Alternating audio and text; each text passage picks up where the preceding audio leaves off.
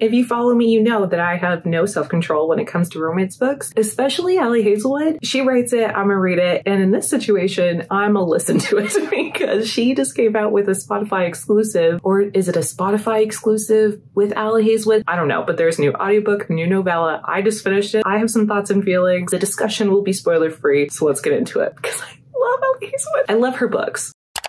If you're new to my channel, my name is Kat. I love fantasy books and I also really love romance books. And I just finished Two Can Play Valley Hazelwood. If you don't know anything about this novella, it follows our main character Viola and she's a lead designer at her video game company. A dream project lands in their laps and it's actually a book adaptation of her all-time favorite series. She's like, yes, I love this. I grew up with the series. I need, I need to do this project. But there is a small, a small like work, you know, like a conundrum, a problem, a hurdle of sorts. She may have to work with like a workplace rival. I wouldn't say it's enemies to lovers. I would say that she kind of, you know, is intrigued by this guy and he wants nothing to do with her. There's work details about this that you can just find out when you listen to the audiobook. So everyone involved is forced on this little retreat to see if people can get along so that they can all work on this dream project together. I'm not an Ali Hazelwood expert. I have read all of her other books, but I'm not going to put that title in this video.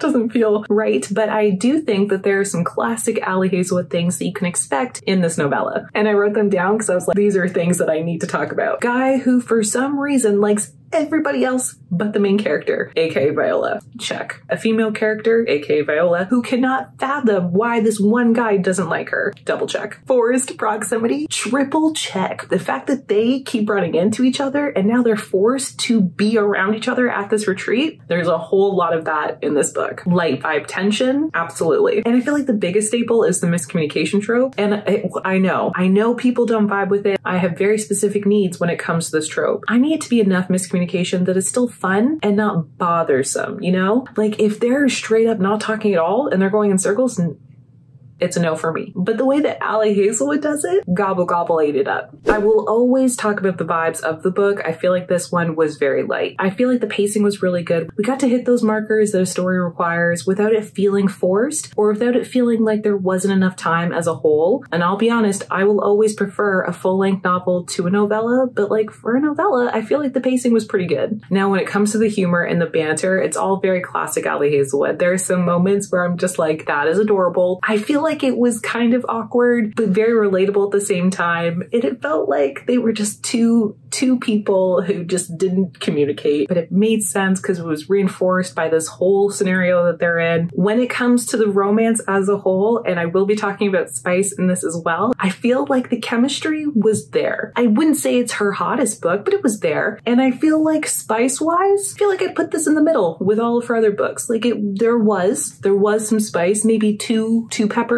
out of five. Nothing crazy. She just threw us some bones. Jesse, the male main character, I liked him. I thought he was kind of lovable. I loved the representation that we got here. A story about two gamers working on a video game. We also got some nice representation in the side characters as well. I loved the setting. It was winter and they were at a cabin, like a cabin retreat. That sounds perfect. And right now is the perfect time to listen to that. Or, you know, like as winter approaches, since we're in fall, like you, you could wait. It's not giving winter in like a aggressive way, but there is no. But also, there were a few things that happened in this book that made me realize that I don't talk about this enough when I'm reviewing Ali Hazelwood's books. She always takes a moment in each one of her books, at least what I can remember of them, is that she takes a moment to pinpoint or address or highlight something that she feels unjust or unfair or needs more conversation surrounding that topic. And sometimes they're really subtle, sometimes they're bigger. In her first three books specifically, she talks about life in academia for women, which like so educational to me because that is not my path in life, but I can still learn more about it, you know? And again, some of these moments are very small. Some of them are just like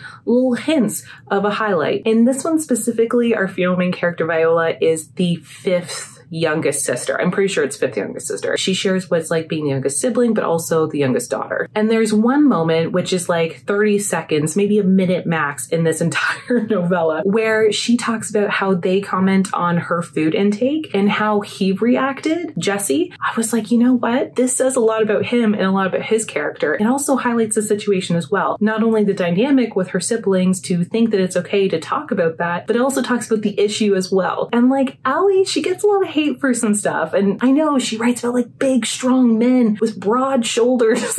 They're kind of like Clark Kent like. And like I get it, but there are also a lot of other good things to appreciate in her books as well. Because like I appreciate the big men. I appreciate these moments too. So this is a novella that I would recommend. I feel like it's a great way to spend an afternoon if you have cleaning, if you have leaves to rake outside, if you have things to do where you just want to pop in an audiobook. I think this is fun. I do hope, and I don't know if this is a possibility, but I do hope that we get to have physical books of this novella because I know like audiobooks aren't for everyone. Not everyone likes to listen to the books that they're reading. I like it all, but like I totally understand and respect it. So if you do want to listen to this, it is technically a Spotify exclusive, but my library has copies as well as like Hoopla, which is like a, a sub app of my library. I don't know how it works, but it's on both.